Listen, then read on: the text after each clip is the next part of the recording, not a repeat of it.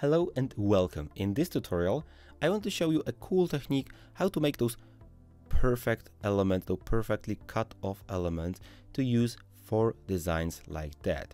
This is something very useful to master in PowerPoint and it teaches you how to use the fragment option in PowerPoint. At first, I insert a shape. Let's make it quick, just a block arrow and a shape like that.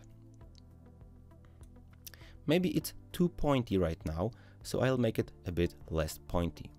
So I would like the lines to be here on the bottom and to be perfectly equal with this, uh, this line here. So let's try to make it. At first, I take another rectangle. This rectangle will be my line. I make it pretty narrow because this is just how I want this design to be. Okay, I have this little line and I just press Ctrl D a bunch of times, at least 10. Ctrl D D D D D D D D D D D D D okay, D. That's enough. I take the first and last one, you can see PowerPoint is helping me to align this, and I make uh, some space between them. This should be about right, if not we will adjust this.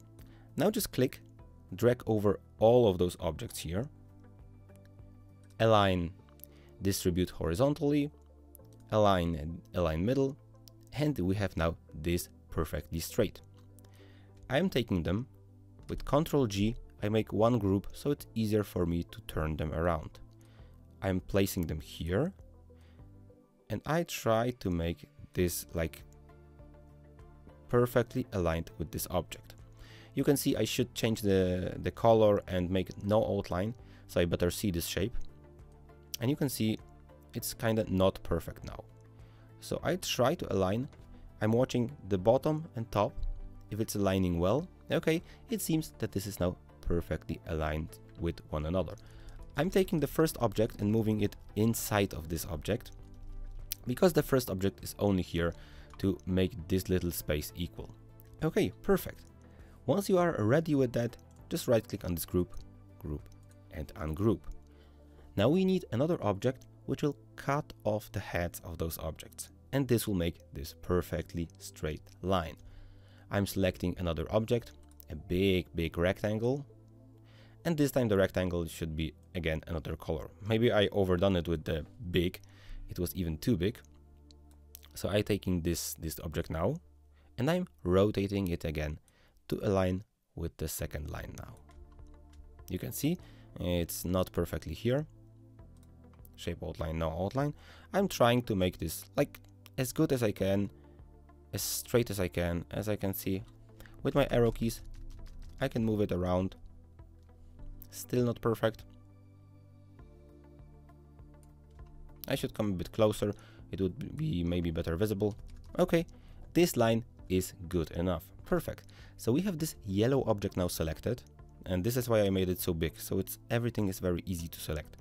Now I press shift and I select each of those line objects one by one. It's going pretty fast, so do not get discouraged. Once you have that, and remember, first you need to select this big object, then you need to select the lines one by one, not the other way around. Because the first object will be the cutting off object, the fragmentation object. Once you have everything selected, shape format, merge shapes, and just fragment. Delete the big boy, delete the heads, delete, delete, delete, delete, delete, delete, delete, delete, delete, delete, delete. Also those, there are a bit too many of them, and this would be enough.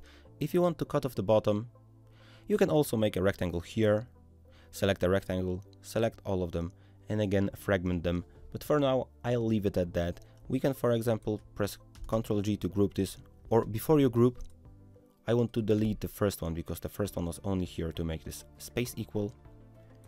Group that again, and this is basically how you use the fragment function to create those equally perfectly cut off objects like that. Very beautiful. If you would like to learn more PowerPoint with me, you have of course links to my courses down below. For now, thank you very much for listening and see you in the next tutorials like this.